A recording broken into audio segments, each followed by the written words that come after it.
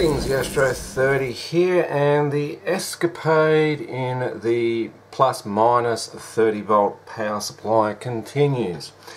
Now, I haven't received the actual module kits to assemble yet and it's been a rather long time, over a month and I actually contacted the seller yesterday and they told me to check the post office which I did. They haven't seen anything. So I've contacted the seller again.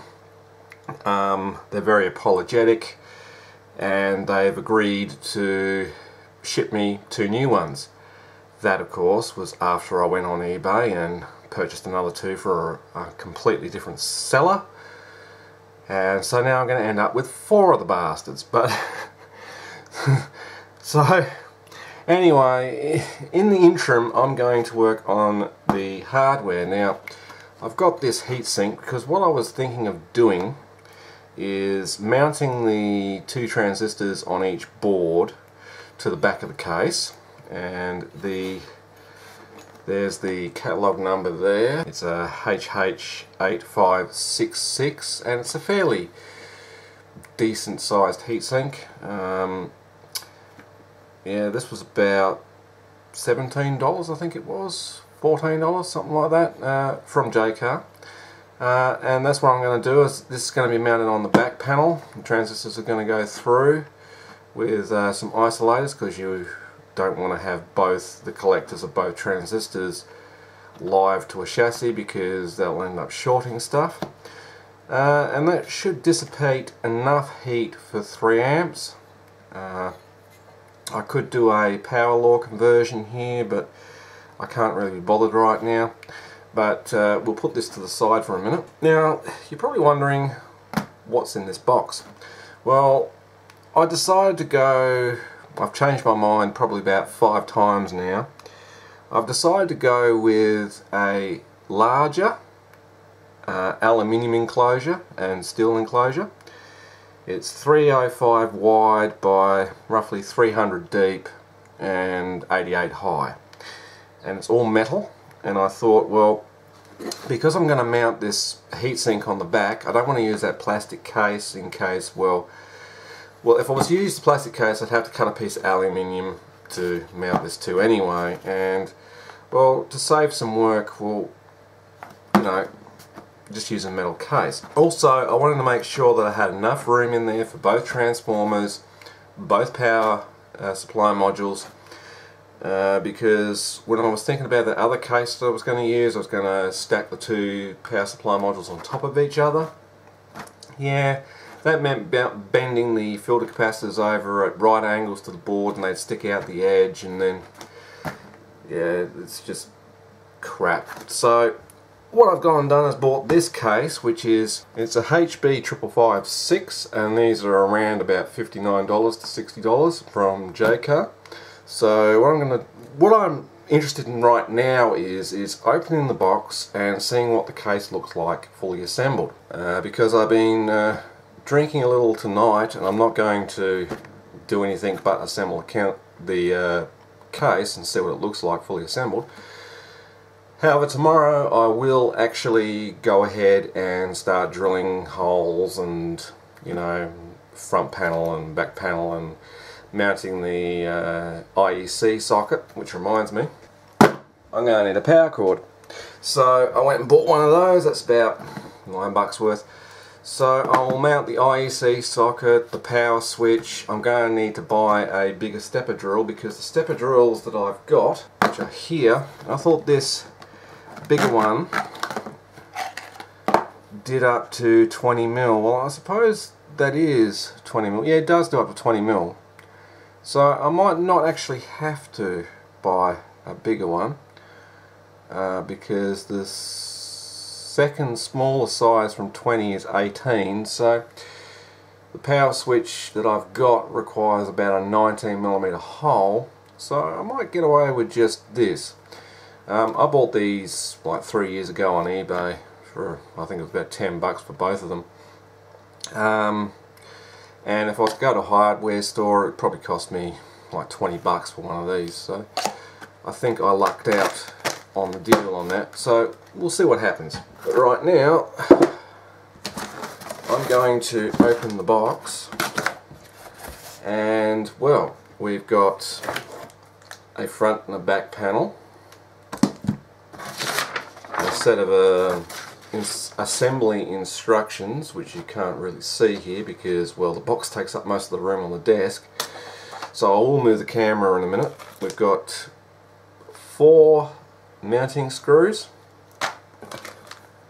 four row of feet, which I will put on at the very last minute because I want to drill some holes in the top and bottom panels. Well, not the top panel, but the bottom panel. Um, now, the description of this on the uh, Jaycar item is that it also includes facilities for mounting internal hardware without having to resort to drilling the bottom panel. Um, I cannot see that. I cannot see how that would even work because they don't even provide any hardware to uh, facilitate you doing that. So I'm still probably going to have to drill one of these panels. But I'm going to unpack the box put, lay it out on the desk and I'm going to just assemble it and see what it looks like. Okay, you can go over there and I will take the top panel out. There's also these uh, two side panels and of course uh, bottom panel so the box can piss off. Now what I'll start with is I will take off the plastic um, stuff so I can actually open it. In fact, actually, I might use a knife to give it a bit of a hole. There we go.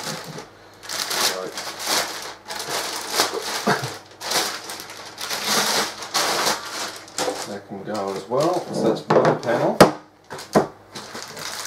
Again, same thing with this.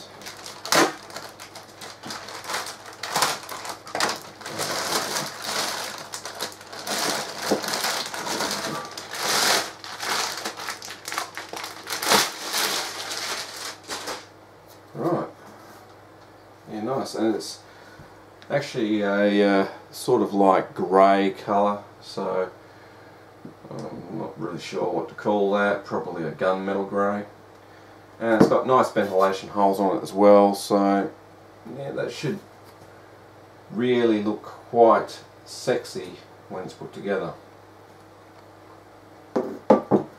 so next I'll do these sides I can figure out where an end is. Okay.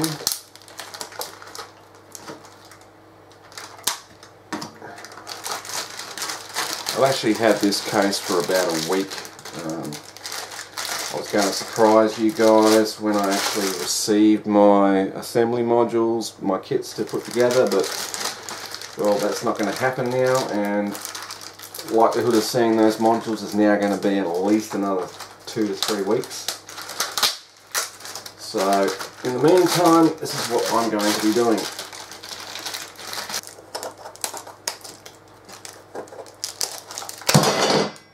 Shit.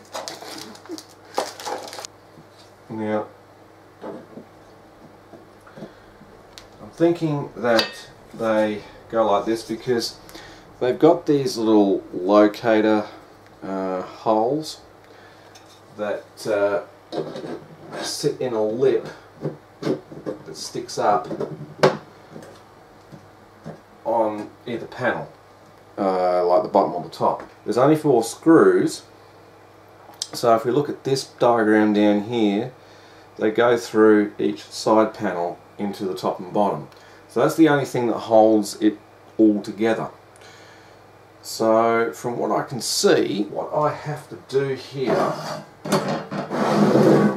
is this front and rear. Now there's also a hook here and here on either side panel uh, and it doesn't actually say in the instructions what that's for but there is actually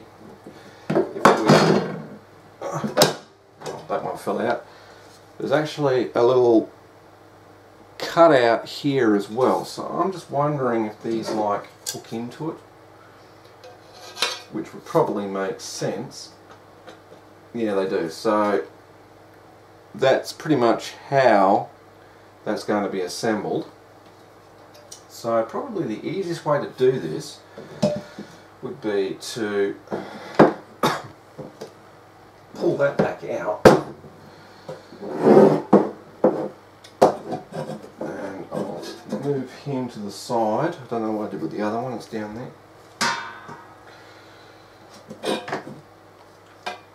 He's actually hooked them together whilst they're out, plus I can.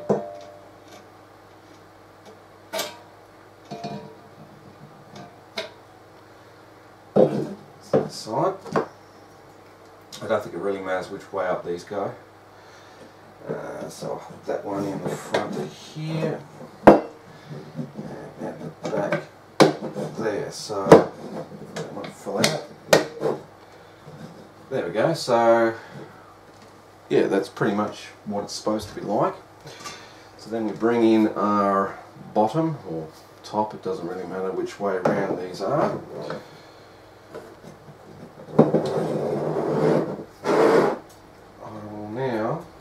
Place this like that. So yeah, they slip the sides, well, the uh, sides slip down into the lip here to finish it. And now I can see what they mean about facilities for mounting hardware without having to resort to drilling the case. And I'll show you. We look here, we've actually got this side lip which sits 5 millimeters away from the actual bottom panel.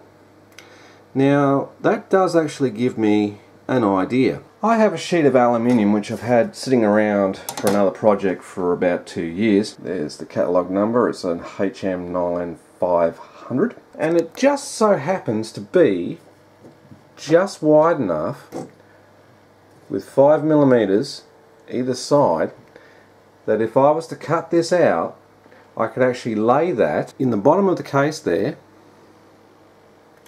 on either side and put some screws through it to hold it. So that means that A that will make this whole entire assembly square and rigid. And also I can mount the transformers the power supply boards without having to drill the case.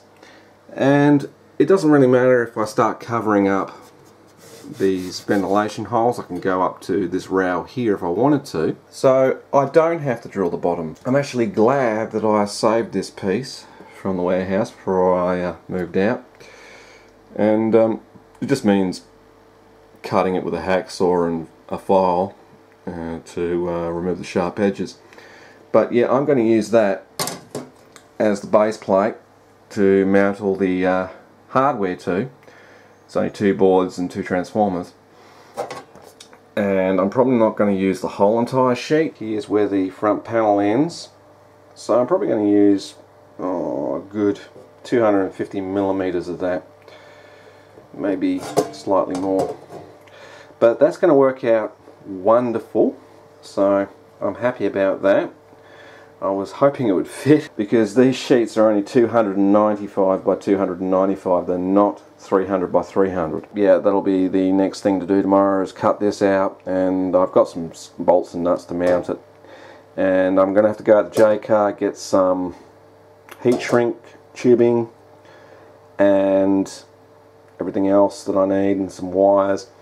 And what I'm going to do tomorrow is I'm going to drill the holes. I've got the front panel designed I'm going to have to make a modification for it because it was done for the other case. So I'm going to have to size it up to roughly the size of this panel. Um, of course I'm not going to be able to print this at 305 long because the printer is on standard A4 which is 295 millimeters long. So there's going to be some edges there. It may look a bit crap it may not I don't know. Um, but yeah, that's going to be tomorrow's project is doing all the drilling, the cutting, the filing, the wiring and mounting this uh, piece of aluminium as a base plate to the two sides here at the bottom. So I've got stuff to mount transformers to and the power supply modules and I reckon this is going to be a great project when I'm finished. Uh, as I said in a previous video I was thinking about changing it to a metal case and that's exactly what I'm going to do. So now I can see how it goes together and so I just drop the top panel on like so and then I just put two screws either side and there is a professional looking bench power supply.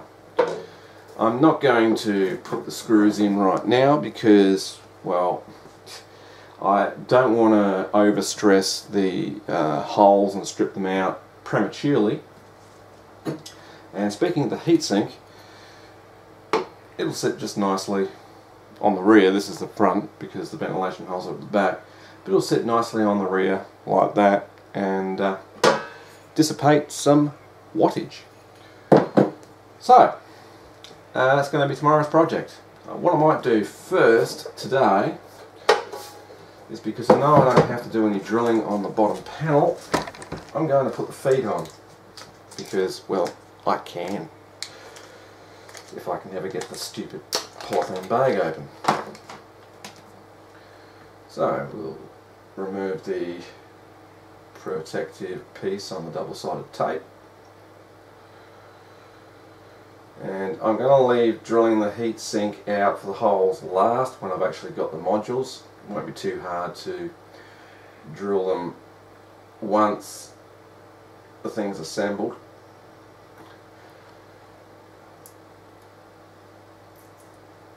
so that's one. Sticking about 10 millimeter, 10 millimeter from the edge. So this is actually quite fun. It's like a Christmas present.